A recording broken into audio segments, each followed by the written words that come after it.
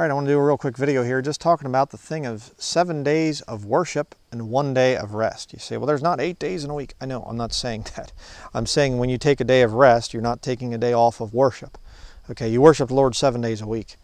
Um, but taking a day of rest, I've found uh, recently to be very, very important. Uh, I have come under conviction lately because um, for a long time I've been working basically seven days a week and um, working for the Lord a lot of times. And then I'd come to my property um, and uh, do some work and things like that on a Sunday. And you know, I'm not working for money or whatever else, but just working around the property, getting things done, cleaned up, and you know, building some stuff and whatever else. And you know, the Lord's really been convicting me about that and just simply saying, you know, you need to have a day of rest, a day where you sleep in, a day where you can take a nap in the afternoon and just have fun.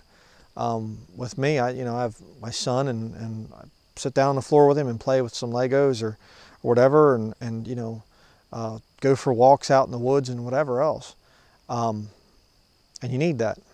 You need to have a day of rest where you, you get some good sleep on your day of rest.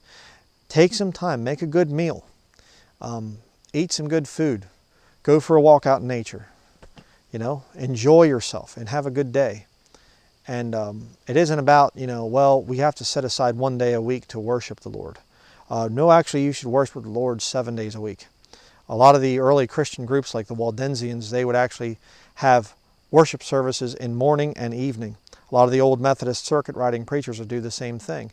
They'd get up in the morning, gather the whole family. I shouldn't just say circuit riding preachers, but a lot of the old time Methodists. Gather the family together. They'd read a chapter of the Bible in the morning. They'd sing a hymn whatever, discuss some things. Later, at the end of the day, before everybody went to bed, read another chapter of the Bible and sing more hymns. Every day, seven days a week. But see, the church building thing came along, and all of a sudden now it's just one day a week.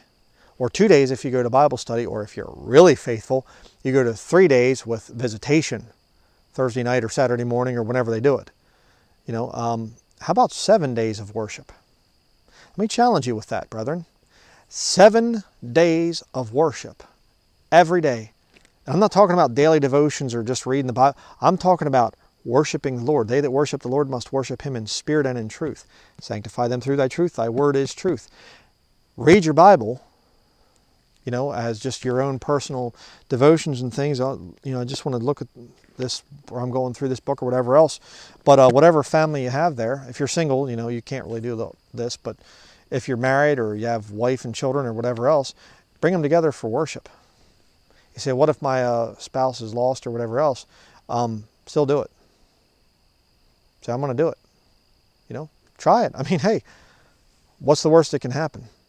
You think the Lord would bless it? I think He would. I think He definitely would. You know, worship seven days a week.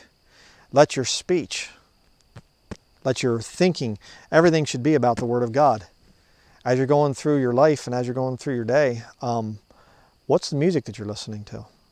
The Lord has really convicted me recently about a lot of the secular music that I was listening to, and it's not bad secular music, you know, symphony orchestra type of stuff and whatever, and um, classical music and things. In other words, uh, I was listening to some of that and, and listening to uh, some of older bluegrass type music and things, and from the 1930s and 40s and whatever back, you know, even into the 1920s, some of the stuff I used to listen to. Not real bad music, but uh, Lord really convicted me and said, you know what? How about just hymns? Okay? Because I find myself a lot of times walking around and I start humming a tune that's secular, not about the Lord, not about worshiping the Lord. And uh, getting into this practice of worshiping the Lord seven days a week. And I don't mean just in the morning and evening either. I'm, I'm really getting radical here. Uh, worship Him seven days a week, all day but take one of those days, and it doesn't have to be Sunday necessarily, but you know, take one day to rest. Enjoy yourself. You know? Kick back, just just unwind. We all need to do that. Um, get away from the internet for a while. All the hectic, everything that goes on with internet stuff and whatever else, just shut that stuff off. I think that's a, the way the Lord intended things to be and that's what we've been doing, and, and it's uh, very enjoyable. getting a lot better sleep and, and a lot feel a lot more rested, a lot more calm. Um, a lot of you have commented on the videos and things that you're saying, brother, I'm seeing that you're a lot more calm in your videos. You're a lot more collected and with your thinking, and you don't seem to be all stressed out. And you're and you're you're not you know you're smiling more and whatever else. Yeah, because I'm practicing the thing of seven days of worship and one day of rest in that seven days. Um, so, just a recommendation to you. Uh, if you say, "Well, I go to church every time the doors are open," well, I feel bad for you. You know, um, you're in church all the time if you're saved. All right, and uh, you should give the Lord seven days a week. God is a jealous God. Okay, and um, and uh, you know I can be out here in a place like this, and I can be walking around and whatever else, and and uh, it's it's just a constant fight with the flesh. I'll tell you what, you know, you you start to in a mind in your mind, a secular music will start to come in, and you say, you know, and you'll start to kind of hum it and whatever else. And I mean, there's times I'll be, you know, some song come into my mind, and I'll be, you know, singing it in my mind or even singing it out loud, and something within me says, stop that. Stop singing that. It doesn't glorify the Lord.